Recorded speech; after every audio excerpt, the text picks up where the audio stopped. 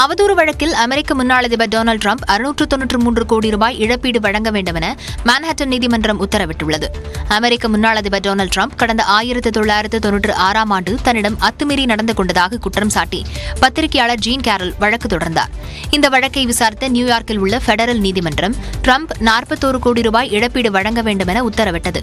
இருப்பினும் தன் மீதான குற்றச்சாட்டுகளை முழுவதுமாக மறுத்த டொனால்டு ட்ரம்ப் நம்பகமான பத்திரிகையாளர் என்ற நற்பெயருக்கு ஜீன் கேரல் களங்கம் ஏற்படுத்திவிட்டதாக விமர்சித்தார். இதை எதிர்த்து மான்ஹாட்டன் நடுவர் நீதிமன்றத்தில் ட்ரம்புக்கு எதிராக அவதூறு வழக்கு தொடர்ந்த ஜீன் கேரல் தனக்கு எண்பத்து மூன்று கோடி ரூபாய் இழப்பீடு வழங்க வேண்டும் எனவும் கோரிக்கை விடுத்திருந்தார். இது தொடர்பான விசாரணை ஐந்து நாட்களாக நடைபெற்று வந்த நிலையில் மனுதாரருக்கு ட்ரம்ப் அறுநூற்று தொன்னூற்று மூன்று கோடி ரூபாய் இழப்பீடாக வழங்க வேண்டும் என நீதிமன்றம் உத்தரவிட்டுள்ளது. நவம்பர் மாதத்தில் நடைபெறவுள்ள அமெரிக்க அதிபர் தேர்தலில் போட்டியிடவுள்ள ட்ரம்பிற்கு இந்த வழக்கு பின்னடைவை ஏற்படுத்தும் என கருதப்படுகிறது.